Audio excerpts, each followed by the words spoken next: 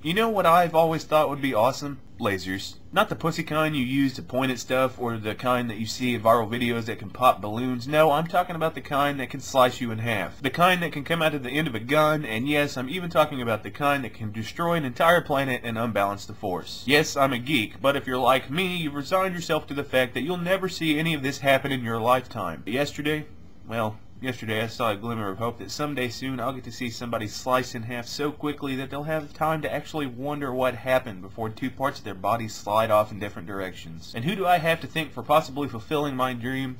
The United States Air Force and a little company called Boeing. My heroes. Of course they had to play the whole thing down, they couldn't just be jumping up and down like kids on Christmas, so they played it off as reducing collateral damage and providing ultra-precision engagement capabilities. Yeah, whatever man, it's a fucking laser. To top off those statements, the Air Force and Boeing will be collaborating on another project which involves a laser mounted on a 747 and it's going to shoot down missiles, like an Atari game.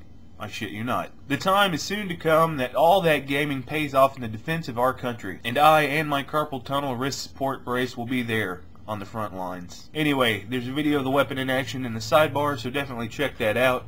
Now if you'll excuse me, I'm gonna go get some practice in.